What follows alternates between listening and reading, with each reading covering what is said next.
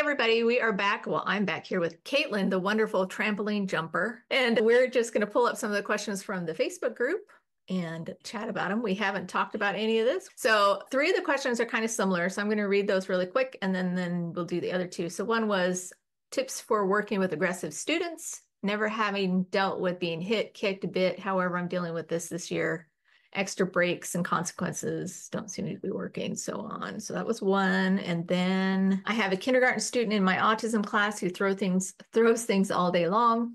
We removed or locked up all the toys, so he started throwing books and boxes of tissues. I love that. I don't love it, but it's funny. And then another one was I have an autistic pre K student that has never been aggressive with staff or peers until this week. He's nonverbal when he doesn't get what he wants or has to clean up, and he starts scratching staff's faces, pushing peers, and kicking. Cannot determine what caused the escalation in aggressive behavior. So, what's the first thing that comes to mind when you hear those?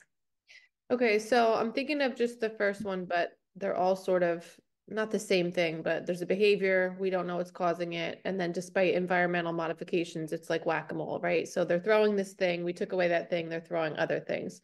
So my first thought is like, I totally get wanting to arrange the environment, but I talk to my teachers about this sometimes where of course we want to arrange the environment for success, but at the same time, like sometimes there's a, a thought that's like, oh, this is happening, let's move that away, or this is happening, let's push that aside. Like if they can't relinquish the iPad, let's hide the iPad. And sometimes that works and sometimes we can do that temporarily but sometimes we're kind of just avoiding the real issue right? So we're not solving any problems by just putting these kids in a bubble where there's nothing around them like we can't remove everything they can throw. I would want to know what's happening right before he's throwing things what's happening after he's throwing things. I mean i've definitely been in classrooms where after a student throws there's a huge reaction. I'm not saying that's happening here but, you know, if that is, even if it's not from you, maybe one of your staff members always says this key phrase that the kid, you know, looks at and kind of grins. Or maybe right before, is he silly? Is he frustrated? You know, data collection could certainly help with that. What are your first thoughts, Audra? Uh, the one I thought about, the one that was talking about who throws all things all day long, we move things and he started throwing books or boxes. It reminded me of a student we had who was um, a destroyer of objects. So everything he got his hands on became mush. And he went through extension cords and, you know, I mean, it was just everything. Everything he put his hands on he couldn't help but destroy it. So it, it, would be different if we're talking about this is a behavior of control or something or something like that, or is this a sensory need of a behavior, which is what I was dealing with this other student, which kind of makes me think of that one. And in that case, what we did was we created a, we used blue tape in the area of his house. It was a home setting. And we create, we collected stuff that he liked to get his hands on and we put it there. And so whenever he started, and you can start to see those little precursors happen, we would guide him to that area where he could do it. Right. And so we had, you know, we had a bunch of paper, we had old computers, anything that he wanted to tinker with and destroy. And it was isolated to that one spot. And as we sort of shaped his need and filled that, when he was out of that space, he learned that that was not okay because whenever he started behaviors again, we redirected him to that spot. And so eventually he learned the difference between where he can and where he can't do that. So I don't know if that's what's going on, but that's the first thing I thought about.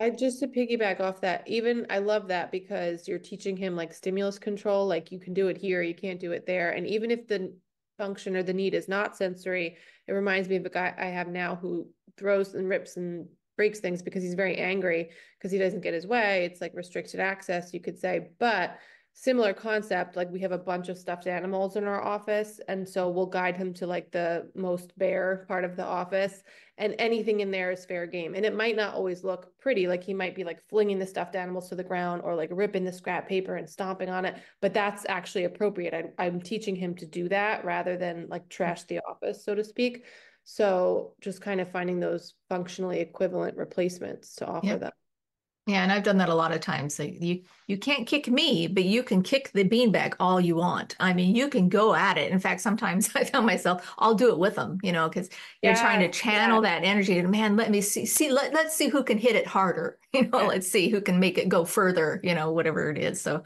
you know, trying to channel that need because it's it's not something a lot of these behaviors you're talking about, it's not something you can just stop. You know, they they need to get it out somehow. And they're if if you don't help channel it, they're gonna channel it somewhere So the next question was I have a four year old who engages in self injurious behavior anytime he's redirected or corrected. Head banging and hits his head with his hand, and it's getting more intense. What are your thoughts about self injurious behavior? And so we were talking about making sure is it some type of SIB that, you know, certainly looking for protective equipment if we can. Like we use a lot of like pillows and mats in my school, like the comfy corners. Um, even if the learner is not even close to independently accessing them. I think that's like a hard part for sometimes for staff to understand. Like you telling them to just use this instead of that is certainly not going to work, but it's a process, it's a skill over time, maybe for them to learn to hit this instead of that.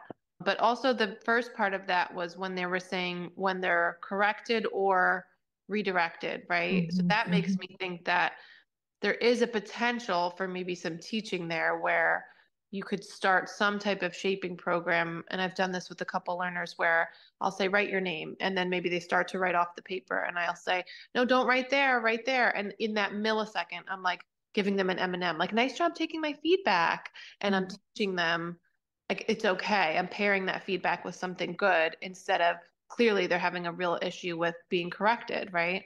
The thing that came to my mind when it said it's getting more intense is I wonder if she's going through an extinction burst. You know, mm-hmm. if they're Im- implementing procedures, they may not know that, that that's what they're doing, that, that they're getting an increase of behavior before they're going to get the decrease. So it may be if they feel confident that he's safe, like I think of several learners I've had who do engage in this, you know, self injurious behavior, but it's not unsafe behavior.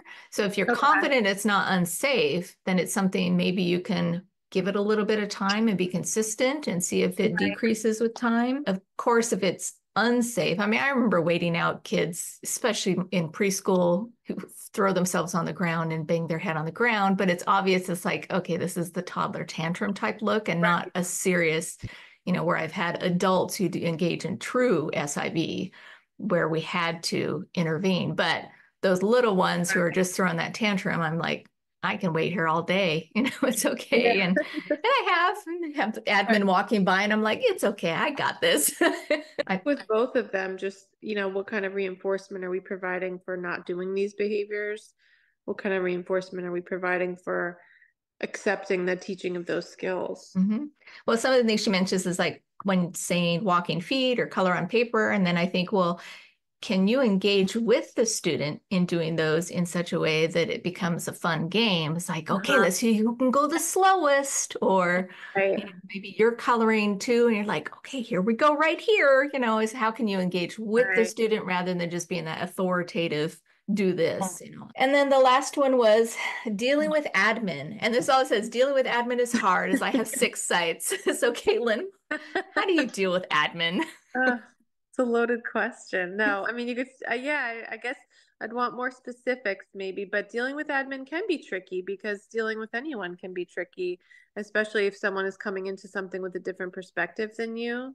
So I think just like just like we do with our staff and our teachers, building those relationships is key because anyone just walking into an admin's office with like a clipboard full of data is, you know, out of left field maybe and you don't have that that foundation of a relationship yet is might not be well received. But i think just sitting it down and talking to them about like what you're doing on a day-to-day basis and also like what your goals are trying to find common ground. I mean if you're talking about an admin who's coming up and saying hey don't do it this way do it that way then it's like is our lines of communication open? Like are you able to meet with them like when you're not working with students so it's more calm and kind of give them that perspective that you are so knowledgeable in that was exactly what I was going to mention. Is like, do you have a time where you can build that relationship with each of the admin? If you have six sites and you have six, you know, main admin plus all the other ones you have, can you schedule yeah. a 15 minute, you know, check in every week yeah. or something? Just and and go in with it like, how can I help you? This I'm here yeah. to help you and your side. What is it you need most here? How can I be of most support to you? And maybe go in uh, as early as possible in the year to gain those relationships so that you can build that together. Yeah, that's a good point. Because I remember when I first started, it was like I had kind of a one track mind just coming from my background and knowing from my special ed department, like what I was there to do. but I wasn't always taking into account, you know, the principal of the building's goals or the vice principal's goals or Mhm. seeing how my goals like fit into theirs. And I think the last thing I would say is, are you only calling them in when there's a crisis? Can you have Mhm. them come in and see something awesome going on in the classroom or something to build up a positive relationship with the the admin and the students as well as you? So Oh, that's a very good point. Yeah, show off like everyone's progress. yeah, have them walk by the ad the principal's office with something they created, the little parade or whatever. Yeah. So those are our thoughts with this week. Ask questions and not specific with student information, certainly, but just give us even like maybe example scenarios with in broad context or something like that if it's stuff we haven't answered yet. Very good. We'll do it again.